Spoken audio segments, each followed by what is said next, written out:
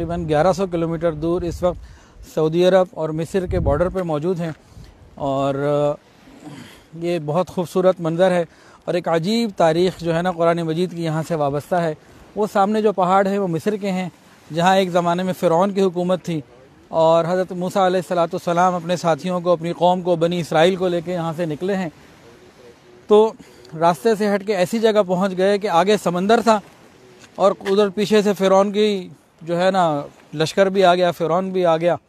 तो बनी इसराइल के लोग इंतहाई परेशान हो गए, कहने लगे, इन्ना लमुद रकून हम तो तबाह हो गए, फंस गए, बुरी तरह फंस गए। सैंडविच बन जाएँगे, आगे समंदर है और पीछे फ़िरौन का लश्कर है, फ़िरौन का समंदर है लश्कर का। तो हमारा क्या बनेगा? जैसे ही ये बात उन्होंने कही तो हज़रत मूसा सलाम की यकीन भरी आवाज़ बुलंद हुई, कल्ला, हरगिज़ नहीं इन रबी सहादीन मेरा परवरदिगार मेरी मदद करेगा। फिर अल्लाह रबुल्ज़त का हुक्म आया, फ़ज़रब कल बहर हज़रत मूसा सलाम के बाद एक लाठी थी, हुक्म आया, इस लाठी को समंदर के ऊपर मारो। फिर अल्लाह रबुल्ज़त ने समंदर में बारह रास्ते बना दिए, जो कौम आसानी के साथ गुजर के फिर यहाँ आ गई। ये एक रास्ता ही सामने आ रहा है, अभी हम इंशाल्लाह इसमें अंदर जाएँगे थोड़ी देर बाद। तो यहाँ से फिर ये लोग आगे गुजर गए। तो पूरी कौम यहाँ आई। अगर यकीन और तवक्ल की बात देखनी हो तो इसमें बहुत कुछ समझने के लिए है कि हज़रत मूसा आसमाम के बाद एक लाठी अकल से पूछो, अकल कहेगी, पानी पे हम लाठी मारने से क्या होगा?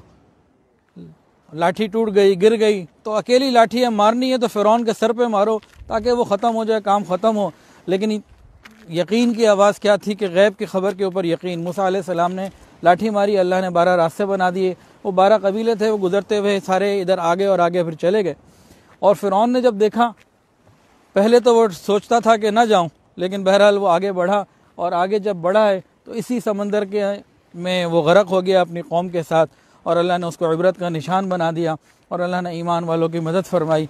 ईमान वाले यकीन के साथ अमाल करें, अल्लाह रबुल्ज़त हमेशा मदद फरमाते हैं। तो एक बहुत खूबसूरत मकाम है ये, इधर दरख्त भी हैं, और दिल बहुत खुश भी है। अल्लाह ताला हमें भी जो है हमारे यकीन की हिफाजत फरमाए, ईमान की हिफाजत फरमाए। जजाकल्ला